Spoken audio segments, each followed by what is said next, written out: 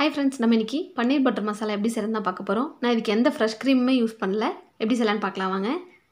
First ஒரு பேனில் ஒரு டேபிள் ஸ்பூன் அளவுக்கு பட்டர் சேர்த்துக்கிறேன். பட்டர் மெல்ட் ஆனதுக்கப்புறமா ஒரு பெரிய வெங்காயத்தை ரஃபாக கட் பண்ணி சேர்த்துருக்கேன். ஃபஸ்ட்டு நம்ம வெங்காயத்தை நல்லா வதக்கிடலாம். வெங்காயம் நல்லா வதங்கினதுக்கப்புறமா ஒரு சின்ன துண்டு இஞ்சி சேர்த்துக்கிறேன். ஒரு மூணு பல் பூண்டு சேர்த்துக்கிறேன்.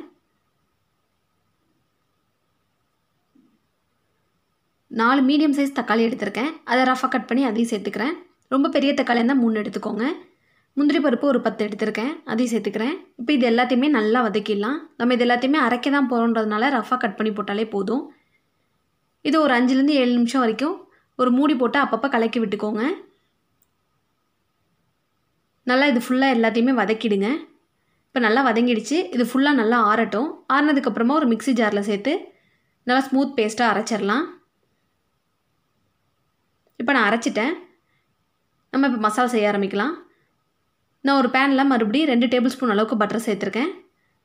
இதில் ஒரு சின்ன துண்டு பட்டை சேர்த்துக்கிறேன். ஒரு ரெண்டு ஏலக்காய் சேர்த்துக்கிறேன். ஒரே ஒரு பேலீஃப் சேர்த்துக்கிறேன். அரை டீஸ்பூன் அளவுக்கு ஜீரகம் சேர்த்துருக்கேன்.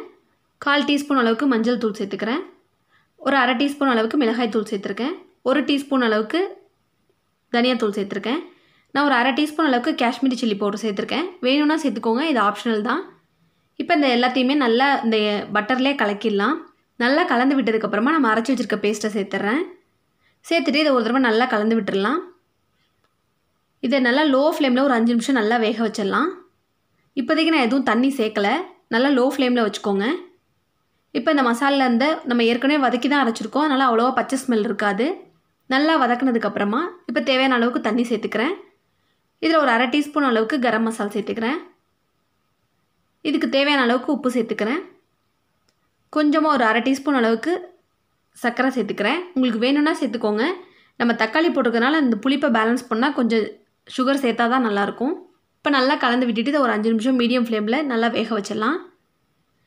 இப்போ நம்ம மசாலா நல்லா கொதிச்சிருச்சு. இப்போ நான் பன்னீர் சேர்த்துக்கிறேன். நான் இரநூறு கிராம் பன்னீர் எடுத்திருக்கேன் இன்றைக்கி